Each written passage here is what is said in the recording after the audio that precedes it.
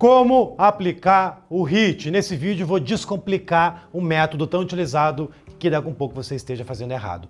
Três erros que você deve estar cometendo e vamos corrigir ele. Toca a vinheta.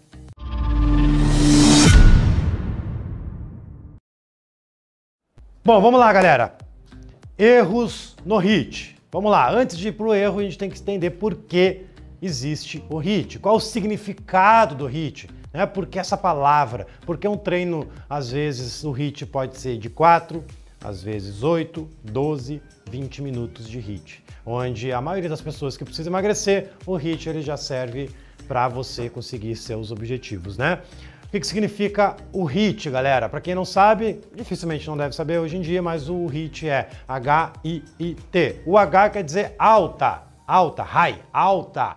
O primeiro, o I é intenso, intensive. O segundo I é interval, intervalado. E o T é trainer, treino. Então, treino de alta intensidade intervalado.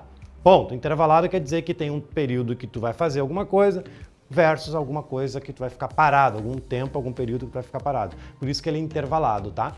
Então, nesse vídeo eu vou te ajudar a como aplicar o HIIT de maneira correta em seus alunos, tá bom? Vamos lá. Uh, existem vários protocolos, né, gente? Então, os protocolos mais utilizados, por exemplo, é o 20 por 10. Ele é o Tabata, mais conhecido como Tabata. O 20 por 10 ele é um dos mais utilizados, não tenha dúvida. Agora, existe o 30 por 15, que também é bastante utilizado, principalmente em alunos que estão tá ali já querendo, uh, principalmente que está começando, às vezes um 30-20, mas o 30-15 é interessante. O 20-10 já é um pouco mais difícil, né? Também temos o 40-20, o 40-20 ele já é um pouco mais agressivo porque tu vai ficar 40 segundos fazendo algum determinado exercício, então o aluno não pode, num aluno iniciante, por exemplo, tu aplicar um 40-20. E existe o protocolo Gibala, que é 60 por 60. Então você vai fazer algum determinado movimento por 60 segundos, porém você vai descansar por 60 segundos. E existe o protocolo que você vai criar também, né? Não existe uma receita de bolo, galera. Então você pode criar o seu protocolo, 30 por 15, ah, vou mudar, vou fazer 30 por 20. Beleza. 30 por 30, beleza. 30 por 30 também é bastante usado. 20 por 20 também é bastante usado. Mas você pode criar o seu protocolo. É isso que você precisa entender neste vídeo, tá bom? Você pode criar o seu protocolo. Tá bom? Antes de eu ir para o conteúdo mesmo, meu, aproveita que tá aqui, cara. Te inscreve no canal, tá aqui embaixo, te inscreve, aperta no sininho, porque você apertando o sininho, você vai ser notificado quando tiver novos vídeos aqui no canal, tá bom? Então eu tô com toda semana com conteúdo novo para você da educação física que queira se destacar aí, tá bom? Vamos lá. Qual é o primeiro erro, Rodrigo? O primeiro erro, Magrão, é o seguinte, o primeiro erro é você usar o mesmo grupo muscular e fadigar a musculatura. Como assim, Rodrigo? Então vamos lá, vou te dar um exemplo, tá? vou te dar um exemplo de erro. Vamos supor que tu botou no teu treino agachamento, canguru e box jump. Caraca, velho, três de perna, três de joelho bilateral, vai dar treta, vai dar problema. Então vamos supor, vamos lá, tu botou 30, 15, o aluno vai ficar fazendo 30 segundos de agachamento, depois 30 segundos de canguru e mais 30 segundos pulando no box. É claro que a coxa, a coxa ela vai cansar antes do tempo. Então isso é um erro que eu vejo muita gente cometendo, onde você vai escolher dois, escolhe dois, três, quatro exercícios de um mesmo grupo muscular. Não, você vai fadigar, você vai fazer o aluno queimar antes do tempo. Aluno avançado consegue? Aluno avançado provavelmente deve conseguir. Eu já fiz um treino uma vez que era 40-10, que era 4 de joelhos. E tinha um quinto que era o intervalinho, que era abdômen, que era o que salvava a pátria. Mas deu, deu para fazer. Na terceira, quarta volta era menos repetições. Agora, num aluno normal, você não vai conseguir aplicar esse HIT nele. Então, cuidado na hora de prescrever um treino. Como é que se resolve então, Rodrigo? A gente se resolve aplicando exercícios é, é que quebrem um pouco essa ideia. Quer ver um exemplo? Eu vou mostrar o exemplo de um movimento errado, tá? Eu vou mostrar na prática fazendo isso errado. Então vamos supor, 30 por 15, vamos escolher esses três exercícios, vou mostrar isso na prática para você ver. Então vou fazer agachamento, vou fazer canguru e vou fazer saltos no box. Depois a gente vai dar uma corrigida, tá? Vamos lá? Eu vou separar aqui o box e vamos fazer aqui na prática como é que funciona e você vai ver como que se resolve isso. Vamos supor que eu acabei de apertar o botão, aqui começou o cronômetro, vou fazer 30 segundos de agachamento. Então estou agachando. Um, dois, 3, descansa 15. Caraca, já deu uma fritadinha. Aí vamos lá, canguru. Aí tu vai fazer canguru. 1, 2, 3, 30 segundos. Descansou? Vambora. 30 segundos de, de box jump. Vai e volta. Caraca, velho, o aluno vai morrer, o aluno vai morrer. Então fica ligado nessa. Beleza, como que a gente resolve isso, Rodrigo? Box jump fica, agachamento fica. O canguru eu vou trocar. O canguru eu vou trocar. O canguru eu posso botar um polichinelo, eu posso botar uma corrida no lugar, eu posso botar um, uma pula-corda, eu posso botar um, algum de membro superior, uma batida de corda naval, um apoio, flexão de braço, enfim. Vamos botar uma corrida no lugar para dar para ficar mais simples? Vamos lá. Corrigimos, agora foi. 30 segundos de agachamento livre, descansa 15, 30 segundos corrida no lugar, descansa 15, 30 segundos saltando no box jump. Então eu acabo de corrigir um erro que talvez você esteja cometendo na hora de aplicar. Mas quais são as vantagens, Rodrigo, de corrigir esse erro? Magrão, prof, professora, é o aluno conseguir manter uma intensidade correta durante o treino. É simples. Porque se eu aplicar exercícios errados, onde vai fadigar a musculatura antes do pulmão, do coração, deu treta, não vai dar resultado, o aluno não vai gostar, vai ser um inferno o treino dele. Onde o treino que você estava programando para fazer por uns 12 minutos, ele vai durar o quê? 3 minutos, 2 minutos, Segunda volta já vai estar tá morta a coxa, não vai parar. Não vai conseguir terminar. Tá bom? Então pega essa. Esse é o primeiro erro que você deveria estar corrigindo agora, assim, nesse exato momento. Quando você for programar um treino, e não é só HIT não, tá? Não é só HIT não. Isso serve para todos os treinos de WOD, por exemplo. Tá? Tu vai fazer um WOD, cara, cuidado para não usar sempre o mesmo grupo muscular, sempre a mesma predominância. Dificilmente o aluno vai conseguir terminar o treino, tá? Segundo erro. Hum, hum, segundo erro eu utilizar muitos exercícios. Sim. Eu julgo que no máximo, cara, no máximo, no máximo, assim, ó, estourando seis exercícios, mas já acho demais. Uma média bacana aí é quatro exercícios, tá? Muitos exercícios é acima de seis, então de seis ainda considero bah, o limite, ele não gosto muito, depende muito de cada exercício que está escolhendo. Como assim, Rodrigo? Me explica um pouco melhor. Cara, imagina tu montar um circuito de HIT onde você vai escolher oito exercícios. Onde o primeiro exercício é salto, o segundo exercício é agachamento, o terceiro é polichinelo, o quarto é remo, o quinto é step box, o, o, o sexto é um burpee, o sétimo é um obol e o oitavo é um apoio. Meu, vira uma salada de fruta barada, vira randômico, vira aleatório. Isso é legal, sabe quando? Uma vez por mês. Quando tem muito aluno que tu quer fazer um circuito entre eles, aí você aplica esse, essa estratégia de utilizar bastante exercício, porque com bastante exercício você consegue atender mais gente ao mesmo tempo, até dupla dá para fazer. 8 com dupla dá 16. Aqui um cara pula, outro pula. Um cara pula em qualquer exercício, menos o remo não daria para fazer em dupla. Mas entenda que utilizar muitos exercícios é um dos erros que pode ser que esteja comprometendo o resultado do aluno, porque ele fica muito lúdico, ele fica muita brincadeira. E o aluno geralmente, ele não vai lá para brincar, né? Ele vai lá para ter resultado. Tá? Por que, que eu sei disso? Porque eu já errei.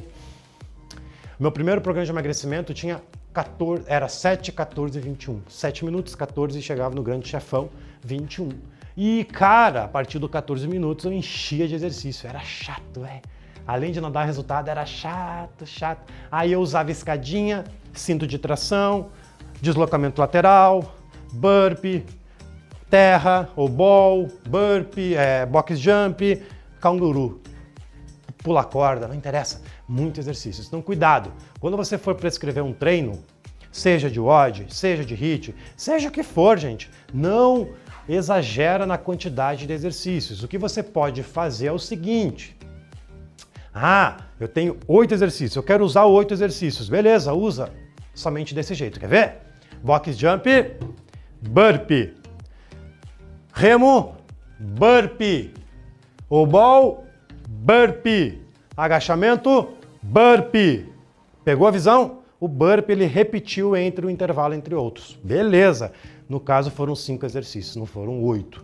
Tá? Onde o burpee estava intercalando entre eles. Pode ser qualquer exercício nesse, nesse intervalo, pode ser um abdômen, pode ser um, um exercício de força, não interessa. O importante é você entender o fundamento da parada.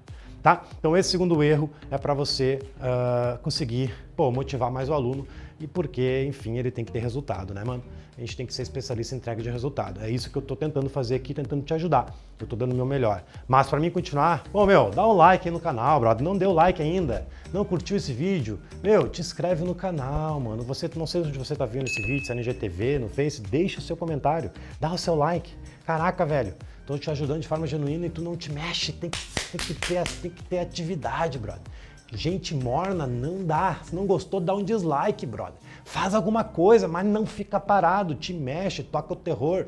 Tá bom? Qual é o terceiro erro então? Vamos pro terceiro erro. Qual é o terceiro erro, Rodrigo? Combinações de tempo errado. Comparado com o nível do aluno. Como assim, Rodrigo? Cara, o aluno iniciante, eu nunca vou colocar para ele um hit que tem 40 segundos de execução, por exemplo. Tu já imaginou um aluno iniciante fazendo 40 segundos de alguma coisa?